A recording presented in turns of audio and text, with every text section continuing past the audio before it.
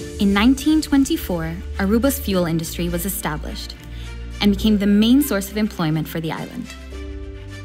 Like many other nations, the fuel industry provided Aruba with a push into the future. However, as time passed, the oil industry brought many challenges. Unstable oil prices and many threats to the environment made it clear that this industry was not the solution for the future.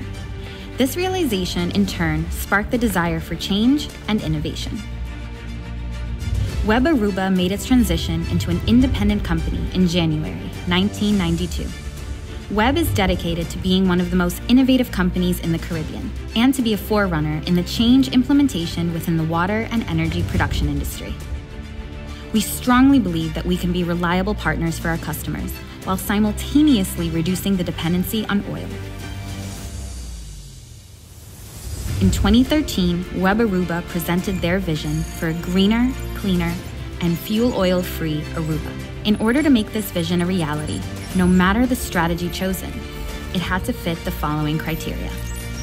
It had to be reliable, affordable, and sustainable. The vision focused on reducing dependency on fossil fuels, engaging renewable energy, reducing carbon emissions, and creating opportunity for important international partnerships.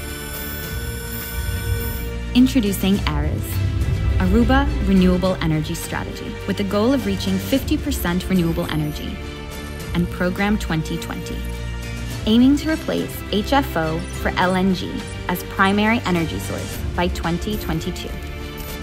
The strategy consists of several stages and the development of state of the art projects across the island, such as several solar parks,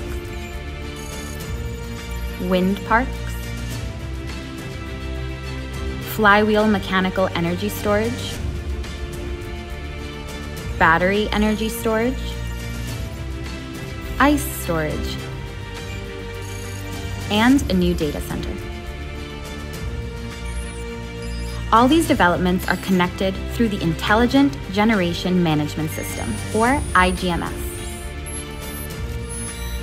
As a result of ARES, the fuel oil consumption has lowered by 40% in 2018, and a renewable energy penetration has increased with 18%.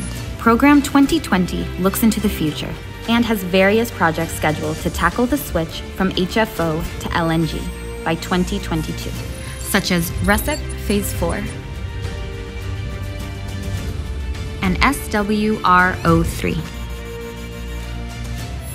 Consequently, by 2022, it is projected that the fuel consumption will be reduced by 67% and the renewable energy penetration will increase by 40%. With all these developments in place, connected to the IGMS, in conjunction with the ARES framework, we are one of the leaders in the Caribbean when it comes to innovation in the renewable energy industry. Join us in this exciting new journey to strategically become less dependent on the fuel industry and contribute to the efforts to preserve and protect our planet.